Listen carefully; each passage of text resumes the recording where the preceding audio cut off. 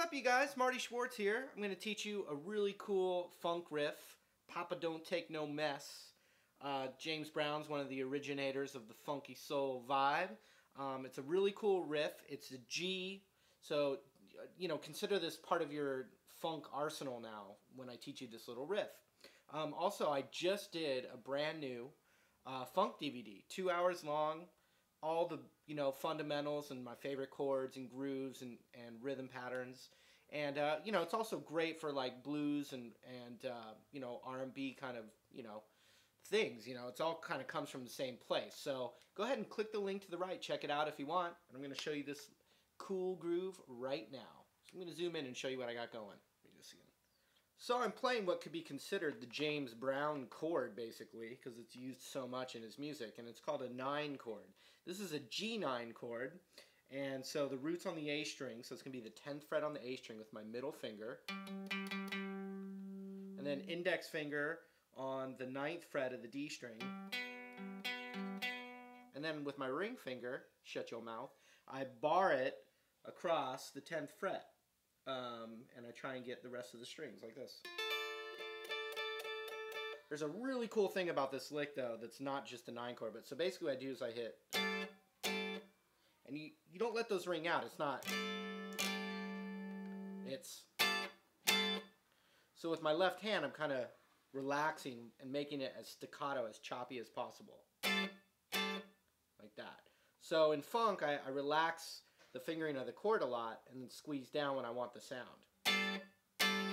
Like that. So that's easy enough if you can get the chord. Now this little piece that I'm going to show you next goes with the uh, with that G9 chord perfectly. So what I do from here is I get my index finger to the 8th fret of the B string and then middle finger on the 9th fret of the G string it's just a little cluster. Just two notes right there. And it's part of the key and the scale that this G kind of blues, G funk thing's in. So we got right there. You so you got to be good at being able to mute the other strings or only hitting those two. And then with my ring finger I go, I add it to the B string on the 10th fret like this. So it's like...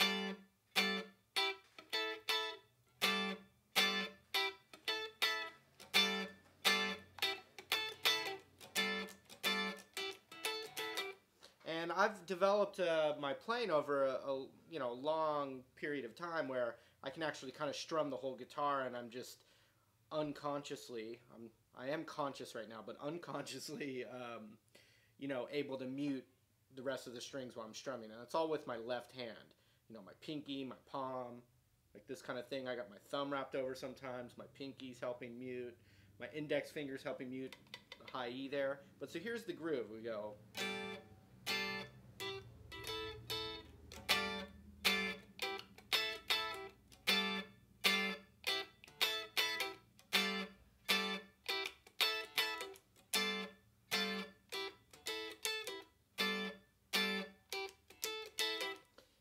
it, it's hypnotic and it does that for a really long time.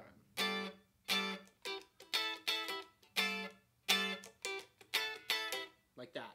And then there's a bridge, and in James Brown music, a lot of the times you just vamp, meaning you stay on this one groove over and over and over, and then all of a sudden he says, you know, hit me or take me to the bridge. And it, it's real easy. It's just the nine chord over and over, and it's, you know, if the root's on the 10th fret here, it'd be 10th fret ring, and you let this one ring out. 10,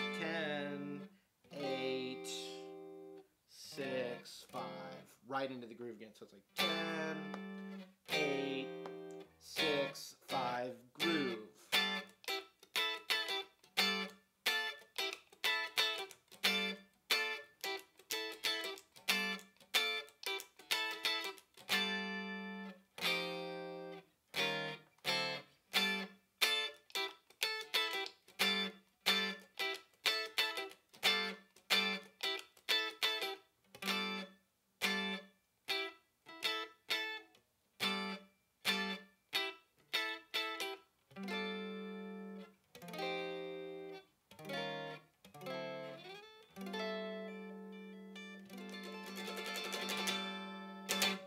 that was the groove, my friends. Hopefully you enjoyed yourself there. Just a quick little funky riff. If you want to uh, dig deeper into the funk stylings and just some of my favorite little funk devices, check out my funk DVD. We'll see you later.